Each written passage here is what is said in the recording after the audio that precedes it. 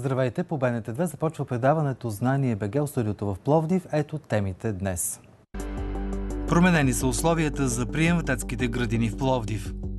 Ученици от начално училище Геомилев в Белозем си направиха радио. Общинският детски комплекс в Велинград търси инструменти за духови оркестър. Каква е връзката между психическото състояние и храненето при децата? В рубриката Как да четем представяме балкански ритуал от Георги Тенев.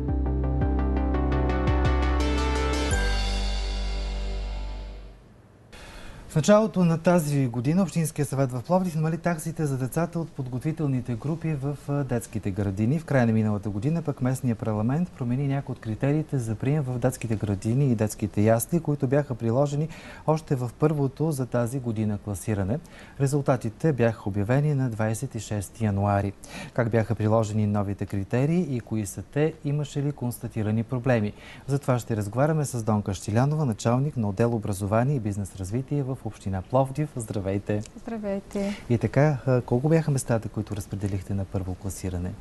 За първото класиране, което премина на 26 януари, имаше обявени 188 свободни места за деца в детски ясли и детски градини, като за това класиране кандидатстваха 459 деца, като по-голямата част от тях 342 беха децата на яслена възраст. Какви, бяха, какви са всъщност впечатленията ви? Повечето родители кандидатстват онлайн или предпочитат да отидат в избраната от тях детска градина и да подадат документи там? По-голямата част от родителите предпочитат да подават заявления за кандидатстване онлайн. Много малка част от родителите, единици, които се затрудняват с попълването на заявлението, предпочитат да, да го подадат в детската градина или детската ясла, която им е първо желание. Сега какво предстои? Излезе първото класиране за тази година, 26 януари. Какво трябва да направят родителите от тук нататък? Родителите трябва да следят в графика на дейностите, който е публикуван на сайта на електронната система за прием. В графика на дейностите са описани всички важни дати, свързани с класиранията за цялата календарна година в, на коя дата се обявяват свободните места от директорите на детски ясли, детски градини, до кога е срока за подаване на заявление, кога излиза класирането, какъв е срока за записване. Всичко това е отразено в графика. Също сега след класирането трябва да отидат в къде в детската градина или електронно могат да подадат необходимите документи? Могат да подадат необходимите документи и електронно, като направят сканирани копия на заявленията. Това е удобство предвид пандемията, да, ситуацията разбира в момента. Се. Да, така е. Но могат да отидат и в детските градини, като се спазват всички необходими мерки предвид ситуацията. До вас стигнаха ли някакви сигнали, някакви затруднения, чисто технически, да са имали родителите при подаване на документите? Работеше ли нормално онлайн системата за прием? Да, системата работи много добре вече 8 година. Не сме имали никакви технически затруднения. Разбира се, и това класиране протече нормално. От всичките класирани деца за ясли и детски градини, половината от тях ползваха а, новия критерий, който е а, постоянния адрес на детето да съвпада с настоящият, което носи две точки. Това... Значително преимущество, предполагам. Да, да. Защо беше направена тази промяна? Това тази... е една от промените, за които ще говорим всъщност. Да, тази промяна беше направена а, за това децата, които са родени и, и живеят в Пловдив, постоянния адрес е тук, да ползват предимство пред тези, които в последния момент се регистрират в града или в даден район, за да ползват настоящ адрес за До сега как район. беше? Какъв беше критерия? До сега критерия беше а, настоящия адрес на детето в момента. Добре, като проблеми при прилагане на новите критерии имаш ли някакви? Ами, забелязахме малка част от родителите, които ползваха този критерий постоянен и настоящ адрес да са еднакви.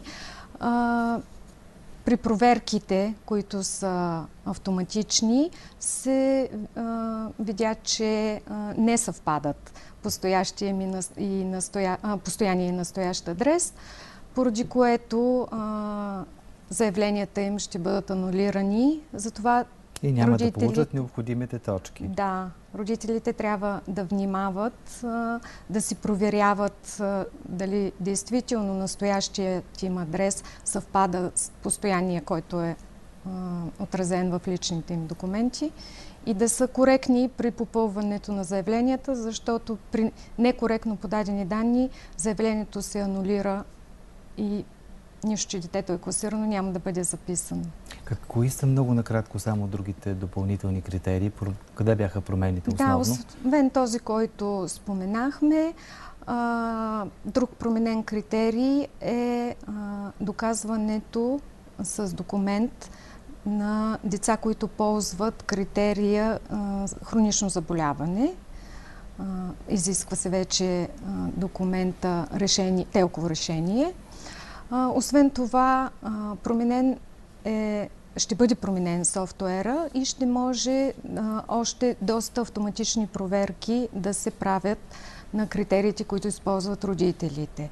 Към момента а, автоматична проверка се прави от системата за а, настоящ и постоянен адрес на детето и също всички деца в семейството дали са регистрирани на един и същ адрес.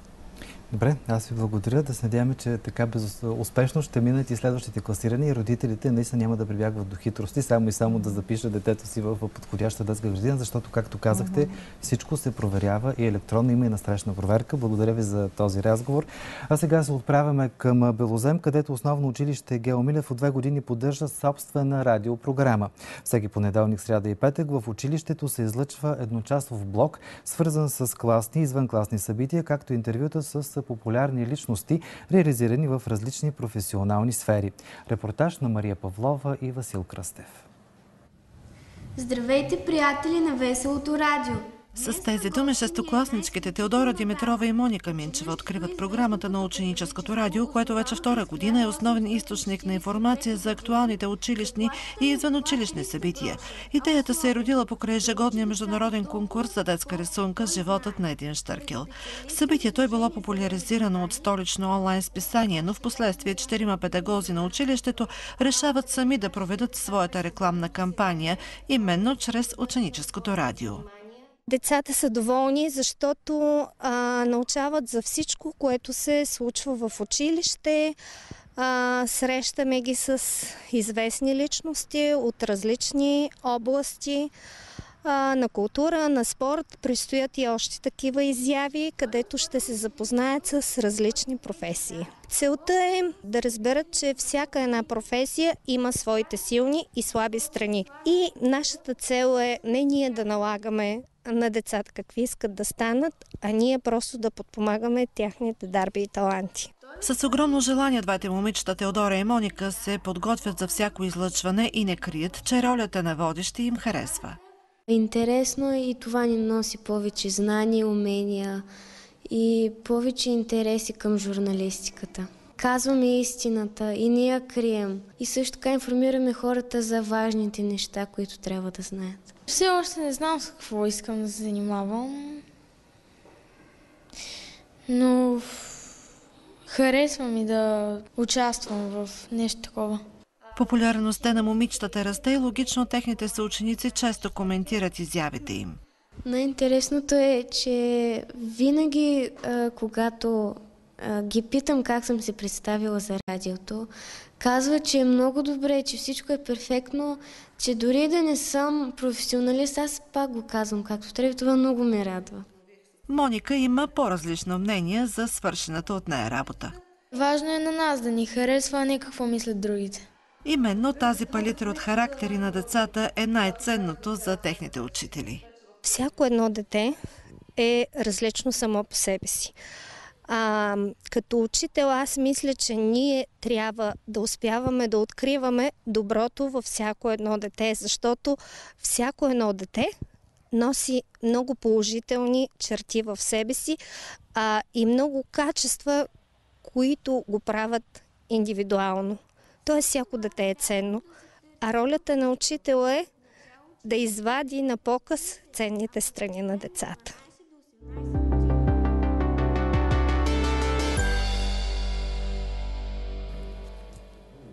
В студиото сме с Катерина Мирчева, която ръководи Общинския детски комплекс в Валенград. Тя ще разкаже повече за работата по време на пандемия и за кампанията за набиране на средства за инструменти за духови оркестър към центъра. Здравейте, добре дошла. Добре заварила. Кажете ни сега повече за този духов оркестър. Защо държите толкова на него?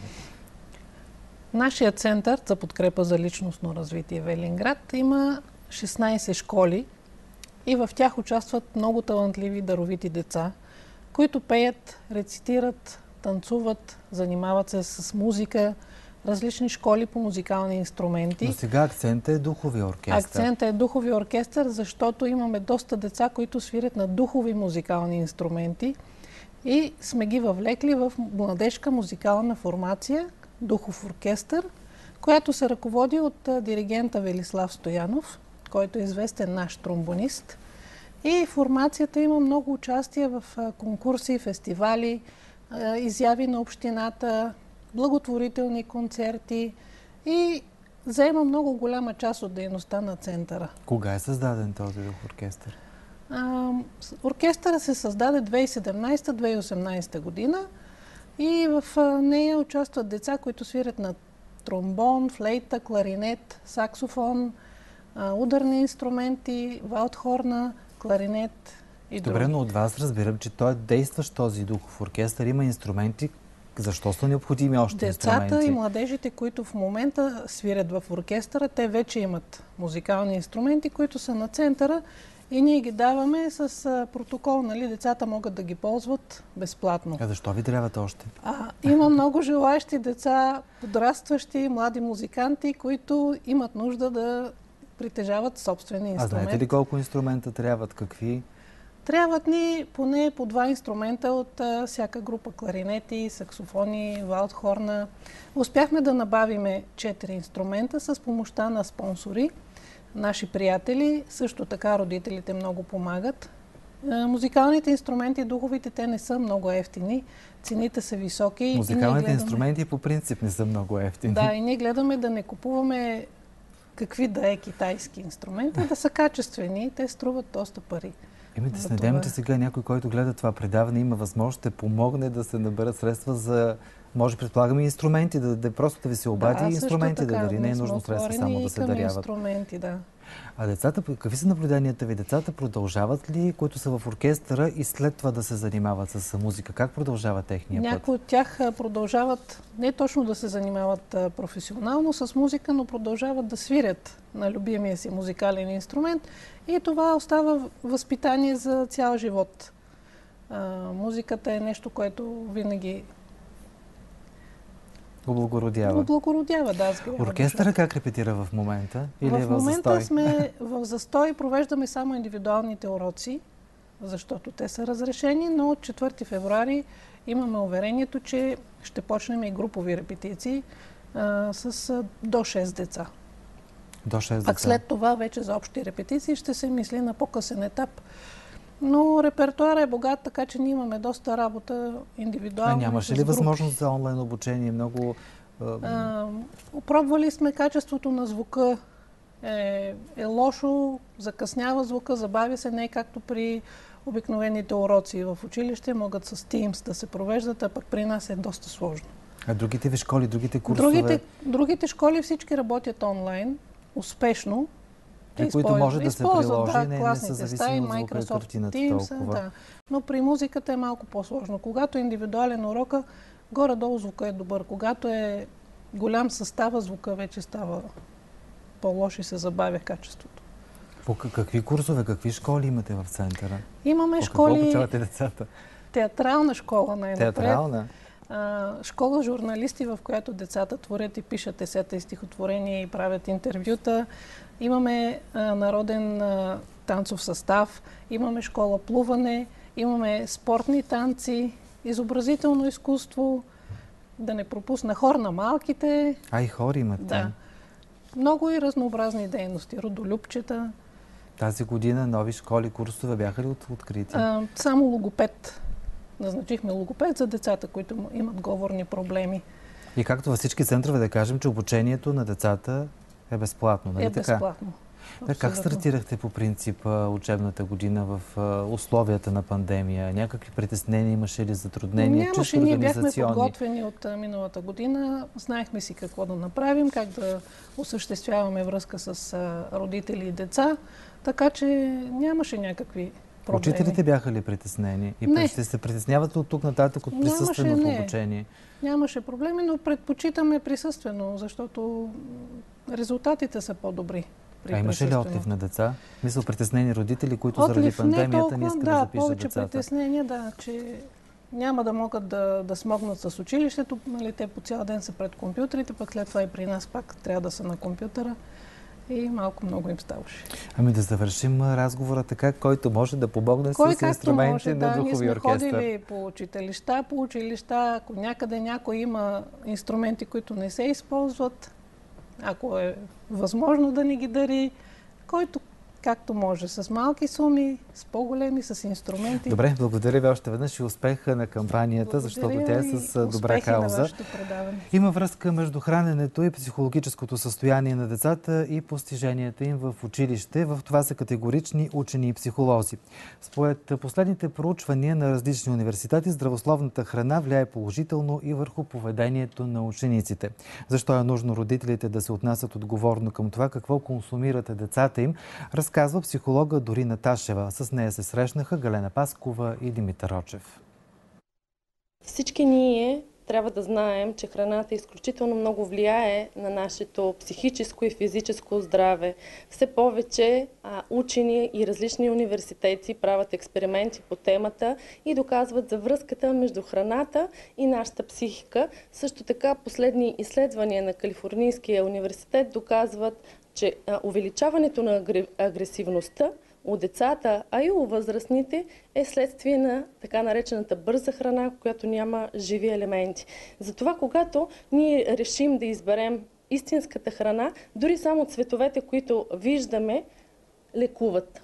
Всеки цвят оказва безкрайно въздействие на нашата психика, а когато приемем тези дози витамини, всичко се променя. Виждате колко красиво може да бъде поднесена храната на едно дете. Тук има приготвена крем-супа от а, тиква и сладък картоф. Това е една чудесна комбинация, която е много добра за храносмилането и за хормоните и следователно влияе и на нашата психика. Бананът а, е а, чудесен при борба с депресия.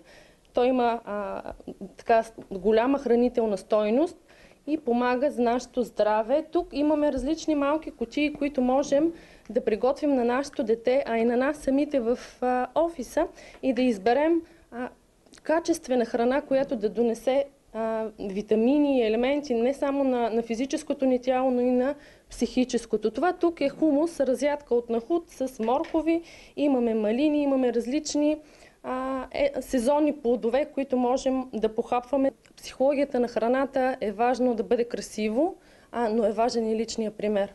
Преди всичко родителя трябва да се храни по начина, по който очаква своето дете да избира.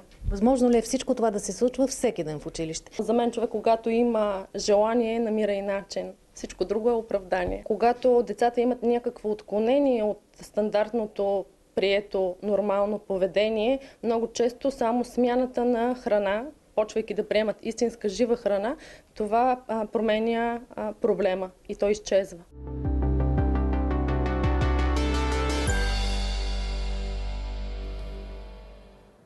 В рубриката ни Как да четем гостува доцент доктор Гергина Кръстева. Здравейте! Здравейте! Балкански ритуал на Георги Тенев. Балкански ритуал на Георги Тенев избрах за, днешната, за днешното представяне. Да, това е предишния роман на Георги Тенев, защото съвсем наскоро се появи пък нов негов роман, Резиденцията.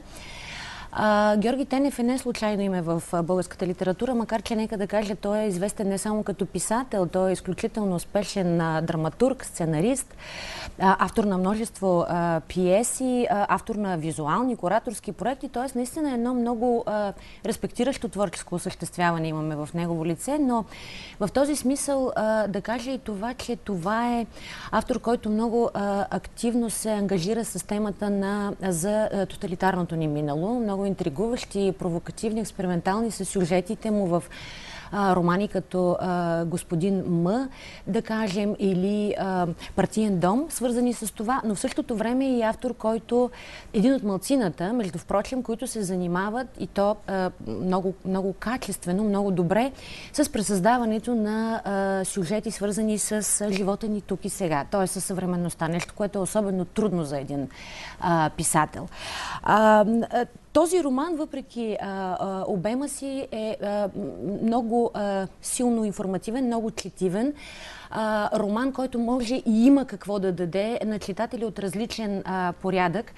А, и една от причините за това е, че а, той има една наистина много сложна сюжетна структура. А, това вече изплаши читателите. Това няма да ги изплахи, защото веднага ще кажем, че а, така, тази сюжетна структура наистина е осложнена. Тя прилича на път, който непрекъснато се а, разклонява и тръгва в различни посоки.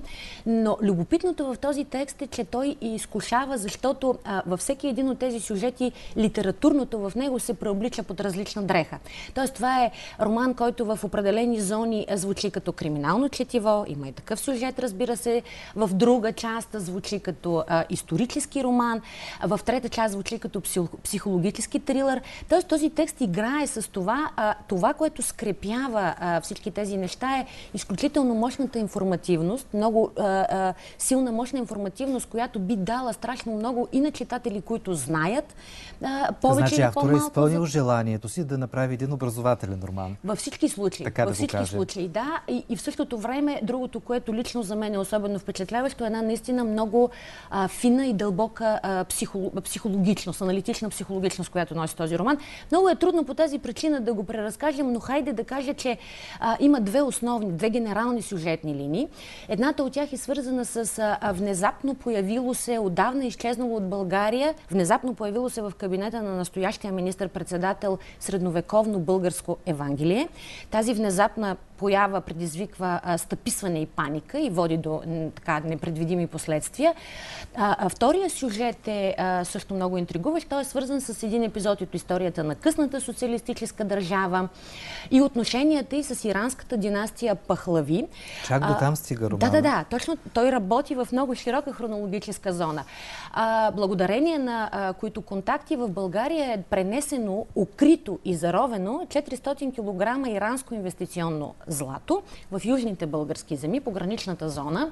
Това става, разбира се, под надзора, много стриктния надзор на тайните служби, на тайните отдели на държавна сигурност, с един много ограничен кръг хора, с една много а, така рестриктивно а, пазена документация. В хода на времето обаче цялата тази операция се оказва а, така потънала в, в, в, в времето. Невъзможно е като че ли да се възстанови това, да, да се върне така историята към тази операция, да се изрови това злато. Това поражда слухове и манярите започват да ровят, разбира се, в този район. Междувременно там копаят и археолозите под предлог, че търсят древно антично съкровище.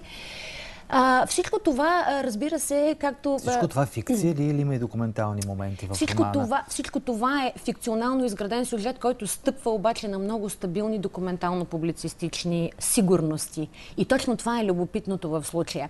Любопитното и хубавото в романа е това, че по този начин той работи в едновременно в локална тематика, т.е. разказва за България, разказва за българските политици, разказва за сянката на държавна сигурност, разказва за корупционните практики по разграбване а, във всякакви, на всякакъв вид ресурси, не само в сферата на бизнеса, но в сферата на културните наследства. А, но заедно с това, всичко това е разположено в контекста на едни много по-широки, вече глобални тематики, които обвързват с сюжета и отношенията светска държавна власт. Ватикана се намесва тук, иракската криза, външнополитическите активности по време на иракската криза, трафика на хора, а, проблемите на а, а, контактите от, между тайните служби, между отделните държави. Тоест всичко това, което много силно продължава да ни вълнува днес, макар че за него не се говори толкова силно и толкова така качествено, както бихме искали, тематика, с която малко съвременни автори смеят да се занимават, да Те не кажат, звучи че... доста сложно, за да бъде обединена в един роман. Той успява да го направи, успява да го направи и точно тази висока литературност, която присъства в романа е нещото, което е важно, смислено и прави чест на автора, мисля, включително и през този много интригуващ избор на заглавие, Балкански ритуал. Това можем да четем в много различни посоки. Преди всичко, разбира Нека се. Оставим като... обаче читателите да. сами да го разгадаят. Нека да оставим. Любопитно ще ми бъде читателите сами да разпознаят и кои са евентуално прототипите на героите, но това да кажете сами автор уточнява, че това е фикция. Разбира се, да, това да. също. Има какво да даде този роман, отново да кажем, на читатели от различен порядък. Добре, благодаря ви за този разговор. Това беше всичко в предаването за днес. Останете с програмата на БНТ2.